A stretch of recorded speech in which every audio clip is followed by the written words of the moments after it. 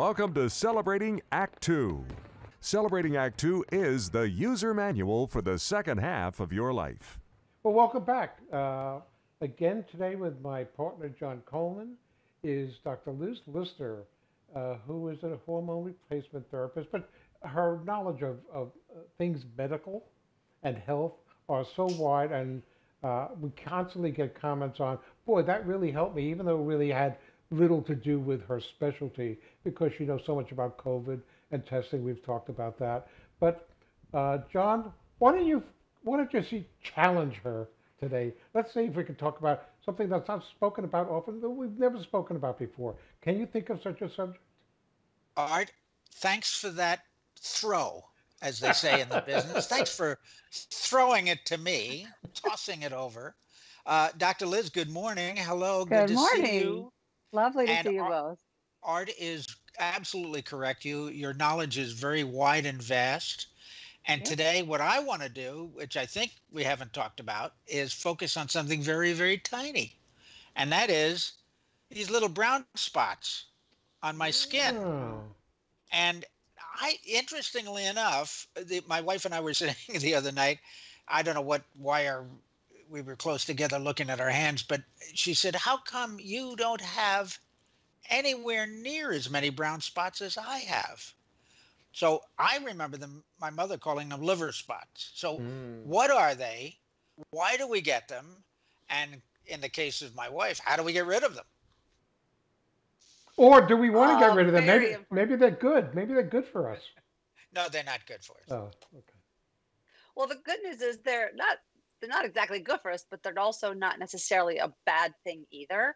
As you said, they have lots of different names: brown spots, liver spots, age spots. The medical term is solar lentigines. Oh, That's- I'm writing this down. I know, right? One of them would be a solar lentigo, and the plural is lentigines. I know, I really had to make sure I was pronouncing that right. But there you have it. And so sun is the main culprit. And I wonder, before we jump in, we talk more about what causes them between what you and your wife have had your sun exposure on your hands. Or when you're outside working, are you wearing gloves more often than she is, perhaps? No, Is interestingly enough, she wears. Interestingly enough, she wears gloves more often than I do. Okay, well, fairer skin is a predisposition to them. They are definitely from sun exposure. As most people are aware, when we're exposed to sunlight, the skin makes melanin. They might not be aware of the mechanism, but most people are aware that we get darker skin, at least fairer skin will get darker with sunlight. And that is because of the production of melanin, M E L A N I N, melanin. And as we get older, the clearing up of the melanin gets a little bit less efficient and it clumps together. And that is why we end up with spots that you can see. So are those spots particularly dangerous, or are they just discolorations? Like if, let's say, you burned your hand on an iron, and you might have a scar for the rest of your life, although it's not particularly dangerous. It's just that's the skin got discolored from the uh, the iron burn or something like that. They are not particularly dangerous. They do not have a higher chance of turning into a melanoma or a cancer. Okay. They, however, skin exposure to the sun can increase the risk of those other skin problems. But the age spots themselves, the brown spots themselves that are due to sunlight, do not on their own have a higher risk of becoming a cancer. You mean my solar Antigone or whatever it was? Correct. Your Oh. solar lentigines do not Lint, Lintigone, thank you. lentigines. I know.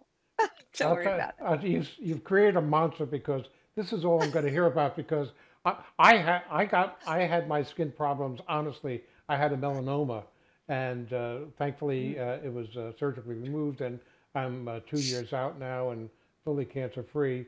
But funny, I don't have any brown spots, so um, I guess I had that that one killer spot on the top Yeah. of my head. But I used to be in the sun all the time uh, blue-eyed, uh, fair-skinned, I guess relatively fair-skinned, and uh, I was brown as a berry every summer, probably up until my uh, 30s, um, or, or even beyond into my mid 30s. So I was always very brown, but no brown spots. So how how do we count for who gets them and who doesn't? luck, genetic influence is definitely part of it. And also where we live, what the conditions are of the of the UV light exposure. So if there's areas where there's more UV light exposure, then that can also potentially increase the formation. I thought So- it would be useful to talk about ways to tell if a spot is something to be concerned about. Oh, yes. Yeah. Very good. Good. Uh, uh, that would be important. You want me to jump into that? Uh, Oh, sorry, John, you sounded like you were about to ask me something Well, else. I was I was just gonna I, I was just gonna say uh, ask a kind of a dumb question, and that is, it sounds like w- we could prevent these brown spots to some degree or other by simply using a sunscreen. Is that correct? That is correct. Sunscreen helps and avoiding the sun. Those are the Sure. two, you know, covering Sure. up. Sure. Mhm. All right, now Yeah. let's get to the important stuff, which is where you were going with this. Yeah. All right. Well, when I was in medical school, we learned A, B, C, D. However, I was looking at it recently and there's A, B, C, D, E. Okay. So it's remembering A, B, C, D, E. And the A is asymmetry. So usually a typical benign, not concerning brown spot is going to have a nice smooth border. It's just going to be a little round shape, maybe a little bit oval, but it's not going to be an irregular shape. So A is for asymmetry. So if it's not a regular border, then that is a concern. That actually brings us to B, which is the borders. Okay. So the border irregularity. So that refers a little bit more to if it's raised up in one part. Say you have the flat, you've got the circle, obviously, I'm making it really big to show, but like an edge of it is more raised. Anything that's irregular about the border, that is B. Okay. So we mm-hmm. got asymmetry, we got border irregularity. C is color. If the color varies, so a typical age spot is just going to be an even brown color. If that if if there's variety in it, if it's lighter or darker in one part of it or another, that's a little bit more concerning. Okay? So we've got asymmetry, border irregularity, color, variety. D is diameter. How big across is it? So a very good reference is a pencil eraser. If it's bigger across, that's about six millimeters. If it's bigger across than a little pencil eraser, that's concerning and worth having a dermatologist take a look. And E is for evolving. Is it changing? Is it growing? Does it look different? I recently went to see my dermatologist for a skin check, even though I'd had one less than a year ago, because I have an aunt who died a long time ago of a melanoma. And so I have that in my family history. And so I keep a close eye. And for me, there was a new, it was a new dark spot that I had not seen before. And it was not in a sun exposed area, it was on my ankle. So I was more concerned about that. So she takes a look at it. You know, the dermatologist has like a little jewelry, like the jewelers use the little A loupe. magnifiers The loupe. the, the loupe. Thank you. And they're getting a really nice close look. So E E is for evolving. Is it changing? Is it growing? Or is it bleeding? Anything like that is Mm. worth having a doctor take a look at it. Wow. A, B, C, D, E. Good, good things to remember. So, yeah. uh, And I'm sure this is this information is all available online if you just Googled uh, uh, brown spots or skin cancer or something like that. Exactly. Okay, Exactly. Well, I always say I've never seen anybody go on the internet and feel better. so, That's so. So we do want to be careful of just sending people to the internet to research things. But you're absolutely right. This information information's definitely out there. do you have a rule of thumb for, let's say, people who have not experienced much of any kind of skin damage throughout their life, or they haven't had any issues? By what age should somebody be seeing a dermatologist, and with what regularity? Or is there no general rule of thumb? You know, that's a really good question. I I wonder what the I think the dermatologist would probably say that everybody should go in at some point or another. I think people can tell when they're at more risk. My I have lots of redheaded, freckled relatives, and I've grown up with freckles. which, by the way, also often fade as people get older, whereas the brown spots appear as we get older. That's another distinction to be aware of. Uh, so it's important, you know, if you're seeing on your own body spots that are appearing, then it's time to see a dermatologist to have a baseline check. They do a mole check, they look you over head to toe, undressed, you know, they put a gown on you, but they get a really good look at all of your skin. And that way you've got a baseline to compare it to. Would you say that most, uh, uh, I call them GPs, what, family doctors, uh, most doctors that you would normally see on a regular basis have enough knowledge about these things to, uh, if they see you often enough, to be able to say, you know what, I think we should start taking a look at that? Or uh, would they generally have enough knowledge to recognize what those issues are to send them on to somebody else? I think so. I think most primary care doctors would have a very low threshold to refer to a specialist. I would feel comfortable that people would get referred for something that you notice, although it's not something that they routinely do to do that full head to toe, like you said, on your head and bottoms of the feet, you know, just head to toe checking up, which also maybe probably about once a year for anybody who has any kind of changing or evolving appearance of any spots on their skin. Which is sort of like the good news is that many of these things are slow growing.